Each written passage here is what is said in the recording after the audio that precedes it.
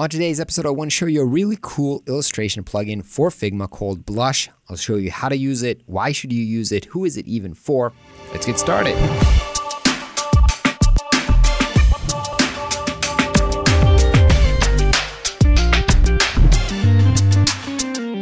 Hey everybody, what is up? My name is Ran Segall. Welcome back to Flux, where we talk everything web design, freelance, and yeah, let's just get started. So here is the website of Blush. This is a new illustration plugin from Pablo Stanley, who is a great kind of designer, illustrator, doing a lot for the design community. And basically, what he did here, he's he brought um, illustrators from all around the world to create a library of customizable illustrations that you can use for your project. So let's see how this works. So here we are in Figma, and this is the plugin, which obviously you open up from the plugin menu.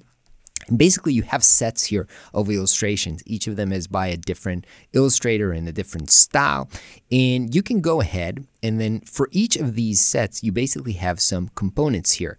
So let's see what we have here for for a starter, let's get started with maybe a background. So we have, for example, user interface. And then we can bring this along. You see now we have this illustration here and we can start customizing it. So what do we see inside? Maybe we see this abstract instead of a balloon and here maybe we have a cloud.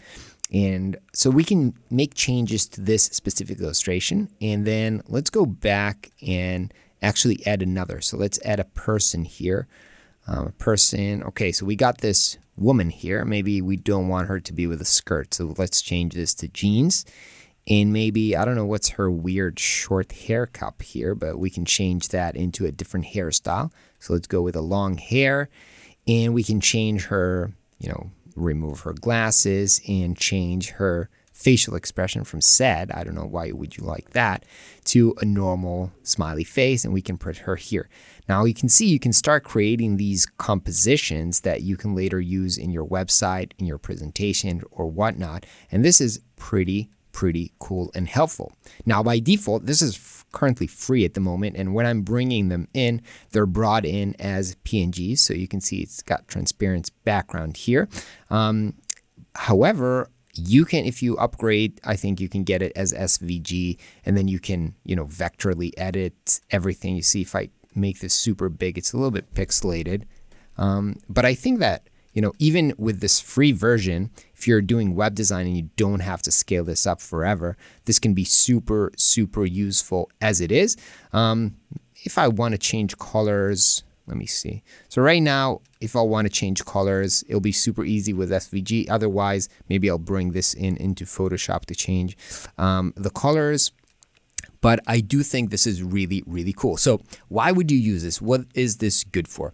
Basically, you know, when you're a designer and you're doing a project, you have multiple options, right? Depending on the budget you have, you can go with really custom illustration. You can hire these great illustration, these or other, to create specific illustration for the use case you need. On the other side of the spectrum, you can go to kind of stock photos, maybe Shutterstock or something like this, and download ready-made illustration. Now, the problem with that is, first of all, everybody's using them, but then it's also not very customizable. So it, you can't really tell the story that you want. And here, I feel like this is a really great middle ground um, that Pablo has created because it's somewhere in between custom and you know ready-made library that you can work with and you can try to create something that's more in line with what you need under a very you know reasonable budget. You don't fully hire somebody um, and you have to pay them a lot of money to create custom illustration which is great if you have the budget but if you don't i think this can be really really great solution that a lot of you know people can employ using their web design. Now, I have to say, you know, on a, on a personal note, when you're seeing a, right now illustrations are super, super trendy because they are useful because you can um, convey abstract, abstract stories with them. However, you want to make sure that you're not exactly doing what everybody else is doing. And I think that with this, um, again, with this um, library, you can make things a little bit more custom made and change to not look exactly like everybody else is looking and use illustration in a more creative way. Specifically, if you're getting the the SVG, and then you can really tweak things around and change colors and change um, structure a little bit more. All right, so that is it. Congrats, thank you, Pablo, for making this and, and bringing resources to the design community. Always in awe for the great things that you're doing. So thank you for putting this together. You everybody, you can check the link below this video to get this plugin for free. Good luck and let me know what you think about this. See you in the next video. Bye bye.